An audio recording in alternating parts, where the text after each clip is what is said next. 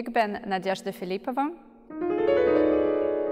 Ik woon sinds zeven jaar in Amsterdam en oorspronkelijk kom ik uit Rusland. En nu uh, neem ik op voor mijn nieuwe album Echo Chambers. Echo Chambers is titel van een van de stukken op CD van Jean-Philippe Waller. En dit stuk is van mij gecomponeerd. Best wel grote betekenis voor mij, want uh, Echo Chambers kan twee dingen betekenen. Eén is in de fysieke wereld dat klank gaat reflecteren van muren en alle obstakels.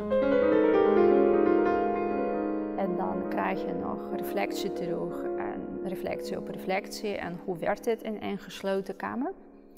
Andere betekenis is heel actueel in onze moderne wereld met social media. Maar het gaat erover dat we heel vaak met social media krijgen dat we krijgen nieuws die we willen zien. Het wordt door algoritme voor ons gekozen en uh, ja, het kan heel erg zijn en dan zitten we echt in toneelvisie. Dat wordt ook echo chambers genoemd. En voor mij persoonlijk, echo chambers is, we horen altijd meningen van anders.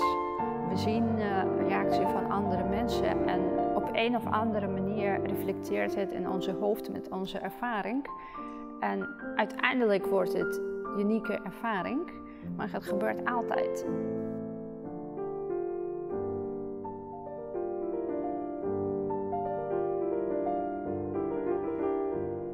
Het is deels autobiografisch.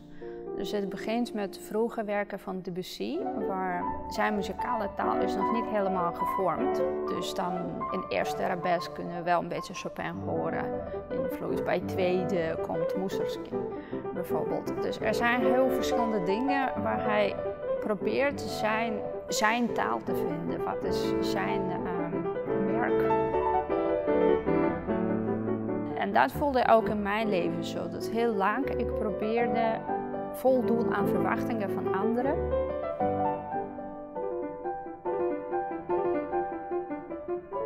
En na al de vroege stukken van Debussy komt Echo Chambers als reflectie aan alles wat gebeurt, uh, wat gebeurt om mij heen. En dan komt nog een geweldig stuk van Vanessa Len, Entranced by the Beckoning Light. En Vanessa zei bij haarzelf, het gaat over leven, dat we zijn vaak zo druk dat we hebben geen tijd om te stoppen en zien dat leven is zo mooi is.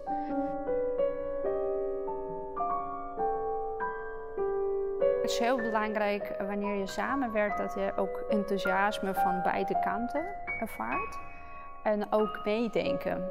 En dat is uh, heel veel bij Frederik en ook uh, in samenwerking met het hele voorbereidingproces. En heel veel hulp en ondersteuning. En dat vind ik uh, heel fijn van Seven Mountain Records.